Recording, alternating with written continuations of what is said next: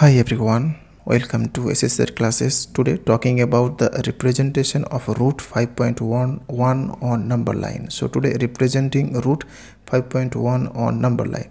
So before starting the video, as like every times I have one request to you, please subscribe channel and press the bell icon. Okay, so first of all, drawing a line of any length here.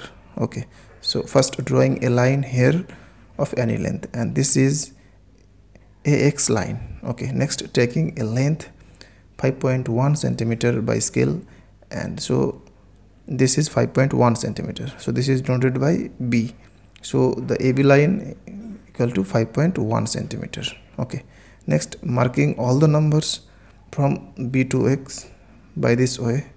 So marking all the numbers on the line by this way. Okay next this is starting number 0 1 2 3 so write down all the numbers here. Okay. Next this is c point. Okay. Now having to bisect the line ac so taking so putting the compass on the point c and taking greater than half of ac and drawing arcs here. With same length and putting the compass on the point a and cut the arcs by this way. Next joining this and which bisect the line ac at a point o. Next taking the length OA and OC to draw a semicircle here. So this is a semicircle. Okay. Next drawing a 90 degree angle on the point B. So taking any length and drawing a arc by this way and putting the compass here and cut the arcs two times and drawing an arc here and putting the compass with same length and cut the arcs by this way. Next joining this and which cuts the semicircle at a point D. Next, joining O and D and which is the radius of the semicircle. Now taking the length BD by compass and drawing a arc which cut the number line at a point P and this is the representation of root 5.1 so this is root 5.1 on the number line now roughly discuss the calculation of the root 5.1. So given AB equal to 5.1 centimeter, BC equal to 1 centimeter.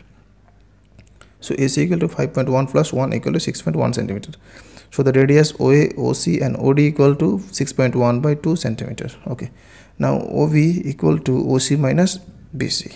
So putting the value of OC and BC and after calculating this, so this is 4.1 by 2 centimeter. Now from right angle triangle OBD we can write by Pythagoras theorem BD equal to OD square minus OB square. Now putting the value of OD and OB now applying the formula a square minus b square equal to a plus b a minus b. So applying the formula here a plus b a minus b. So from first this so this is 0.2 10 by 2 into 2 by 2 so this is root 5.1 centimeter. So therefore bd equal to bp equal to root 5.1 centimeter. That's all. Thanks for watching. Please subscribe like and comment on my video. Thanks for watching